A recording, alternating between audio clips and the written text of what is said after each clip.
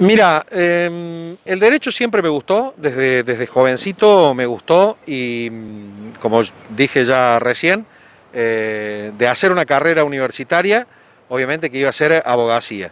Y me gusta, yo tengo ya muchos años de servicio en la policía, me he desempeñado casi siempre en la policía en el área judicial, de manera que eso profundizó más aún mi vocación por el derecho. Mira, sinceramente hay cosas de esta etapa de estudio, de rendir los exámenes finales, de presentar la tesis, de esperar el título, que a pesar de tener 54 años, a pesar de ser un hombre grande, de tener todo, mm, que sea hijos, que, que ya lo han hecho, a pesar de todo eso, eh, no quiere decir que no tenga la misma ansiedad, la misma incertidumbre, las mismas dudas que puede tener un muchacho. Hay veces que me gustaría creer que, que soy un muchacho de 24 años con 30 de experiencia. No, tengo 54 de edad y no me los puedo sacar.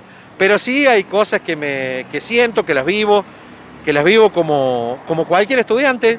Eh, y bueno, ¿qué va a ser del futuro? No sé. Es, parece de locos que a esta edad uno esté hablando del futuro porque ya es grande, pero no, siempre hay futuro, siempre hay algo por hacer. Escuché que ya como que tiene el primer caso, ¿no? Eh, vamos a ver, vamos a ver. Sí, sí, ya me ha hablado gente conocida. ¿Cuál es el tema?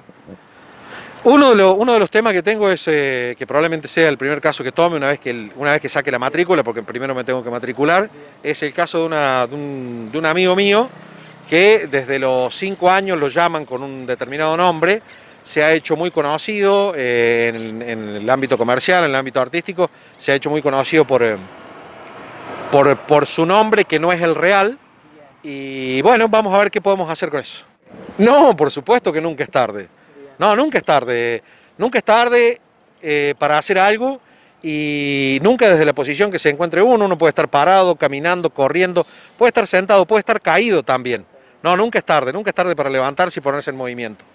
Usted acompañó a su hijo, me acuerdo, en 2018 lo acompañó a buscar su sí, título. Sí, sí, en el 2018 hicimos una, una marcha también desde Hernando a Río Cuarto cuando mi hijo fue a buscar su título de médico veterinario, profesión que felizmente está ejerciendo hoy y está realizándose como médico veterinario.